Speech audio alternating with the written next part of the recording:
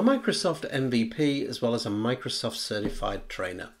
Microsoft 365 is one of the best collaborative platforms out there with tools like SharePoint, Teams, OneDrive. It's fantastic for internal staff, but also it's awesome because you can invite external guests as well. What do I mean by a guest? Well, could be a customer, could be a supplier, it could be a member of the public that you want to participate in a team or in a SharePoint site.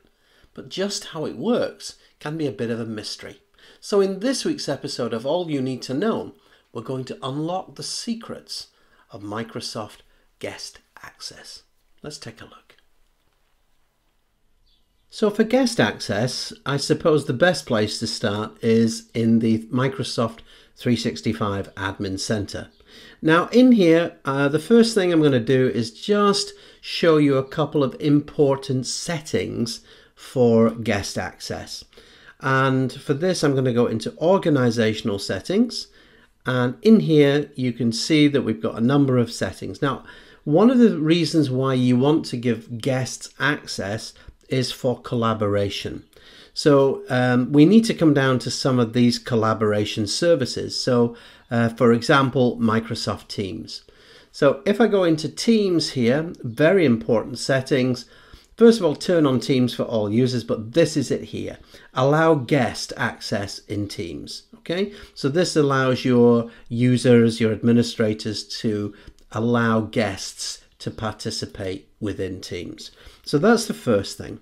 Now, um, because teams and groups are very closely connected, um, you also want to go into Microsoft 365 groups and again, uh, for collaboration purposes, let group members outside your organization access group content. So again, let these uh, uh, options make sure that they're switched on. Okay, so that's Microsoft 365 group. So that's important settings. Okay, now another uh, set of settings, you can also go into SharePoint. And this will take me to the tenant um, settings for permissions. So uh, again, you can specify here that um, you can make it the least restrictive. So basically, anyone users can share files and folders um, using links that they don't require a sign in. So anonymous access. New and existing guests, so they must provide or they must sign in or provide an authentication code. Okay, so this is guests that you invite. The third option is existing guests only, and I'll be showing you this in a moment. So these are guests that exist in your organization's directory. And the most restrictive, of course, is the only people within your organization. And it does warn you. It says, okay, so with this option, nobody outside your organization would be able to see your content. So what I'm going to do is I'm going to set it for this. So new and existing guests um, uh, must sign in or provide a verification code. So that's the one that I'm going to choose. All right. And you can also set that setting in uh, Microsoft SharePoint itself. So those are the organization settings. Now what I'm going to do is to invite the guests, I'm going to go into Azure Active Directory. Now, um, while I'm in the admin center, by the way, just before I show you that, um, if I go into users here and active users, um, Microsoft 365 allows me to create users here, but you'll notice I can't create guest users.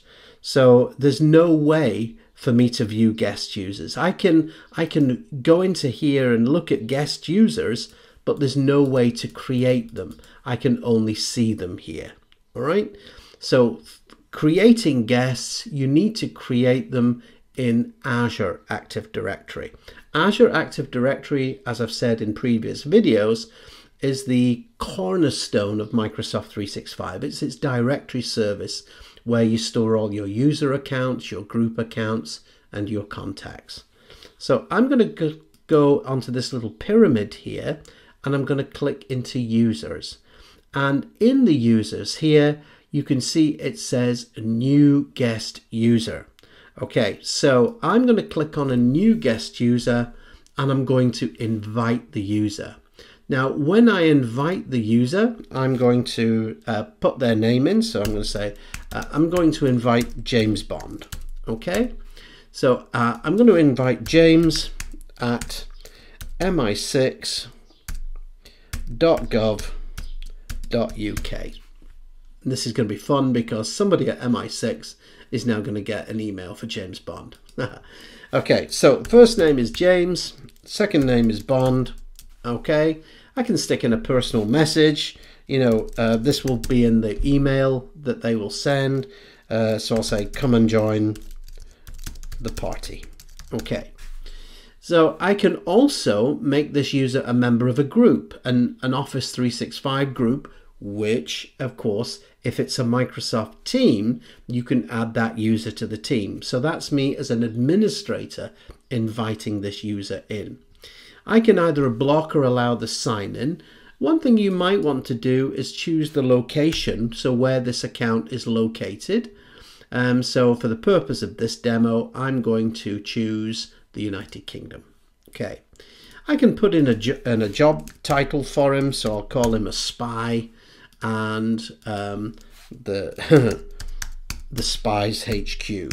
Okay, I'll stick him in there. All right, so I'm going to send him that invitation. So that invitation has now been sent. Okay. So now I go into, so assuming that he'll get that invitation, he needs to acknowledge that invitation and then he'll get access. Okay. So um, what I will do is I will just scroll down here and you can see that I've now got a user called James Bond. And you can see that he's a guest user because of the globe that's here. Um, if I flip back over to my 365 admin center, and just refresh this page, again, you'll now see that I've got James Bond here as well. So I can click into James Bond, I can see his contact information. Um, I can can't really, I, I, can kind of manage it, but again, this goes into um, the, it goes into Azure Active Directory. So I'm just going to stick in here um, and there we go. So you can see that this user is a guest. Okay, so that's the first thing I've configured the guest access. Now, um, the other thing that you want to do is I can uh, also select the user. I can go into the user, I can go into this uh, user settings here, and again, it will take me uh, back into here. Um, and again, this is, do I want the user to have access? So for example, I can go in here and external users. So one of the settings is I can manage external collaboration settings for, for my users, okay? Um, again, I can do the same thing here, by the way, by clicking onto users. Um, and you can do this in a number of ways, actually. You can either go into users, and again, you can, uh, you can you've got the user settings here. And uh, again, you can go back into that collaboration. So there's a number of different ways to do it. So here we go. Guest users permissions are limited. Yes or no. So again, this depends on, you know, your, your own security policies. Um, admins and users in the guest inviter role. So the guest inviter role in Azure Active Directory is a special administrative role that allows you to invite guests. So for example, this could be department managers within your company. So yes, that's fine. Members can invite. So members of teams or groups, again, that really depends on your security policy. So do you want administrators only to manage the invitations for guests or are you okay with users inviting guests as well? One thing though, guests can invite other guests Mm, I'm thinking no for that one. Um, enable email one-time passcode. So you'll remember in the invitation that um, it prompts the user um, with a passcode, a, a one-time uh, four or five digit number, and that just confirms that it's their identity.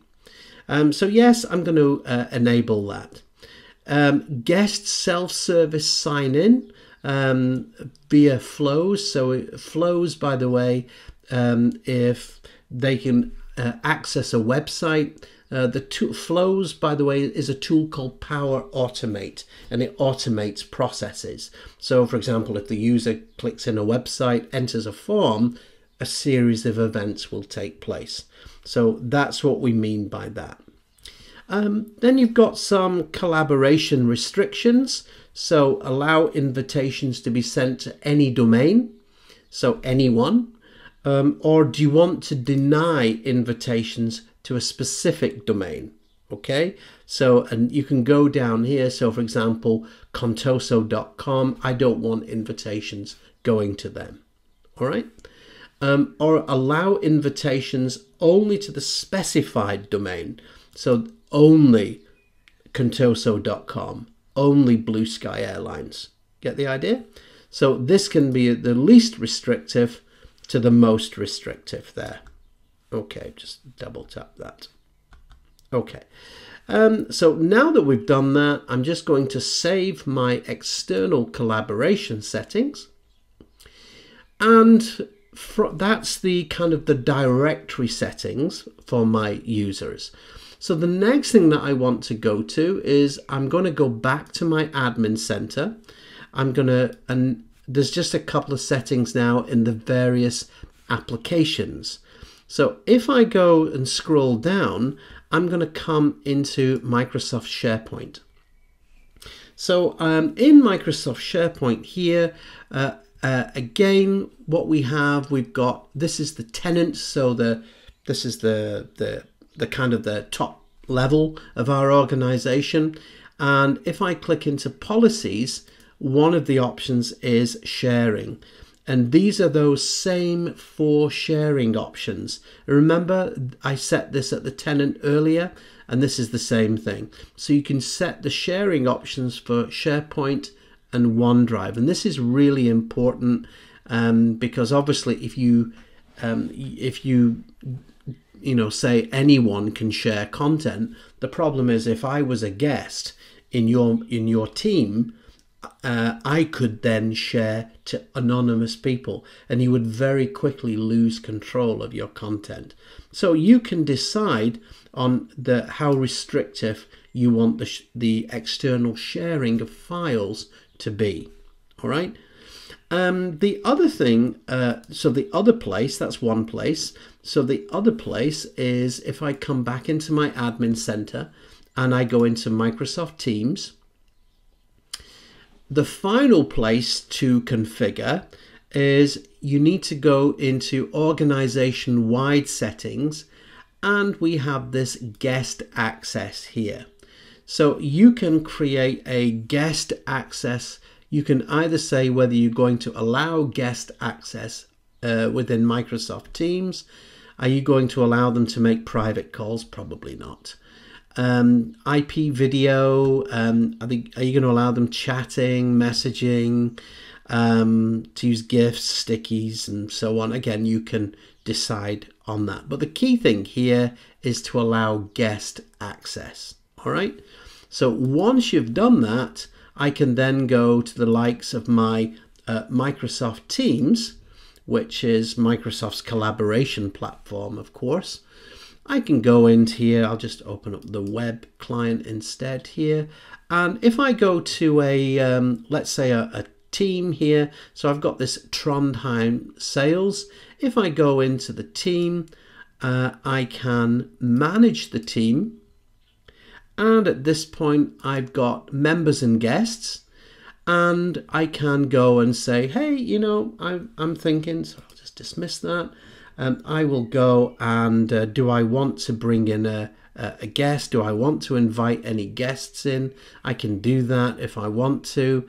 Um, so, and you can see I've got one here. I've gone ahead and it, I've invited. So I can search for members um, and the other thing, because it's you've got guests in here, if you go into settings, you've got member permissions and you've got guest permissions. So what are you going to allow guests to do as opposed to members? Okay, so obviously members will have full access.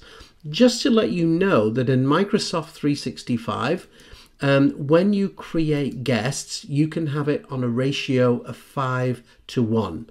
So that means that for every paid user account in 365, you can have up to five guests, okay?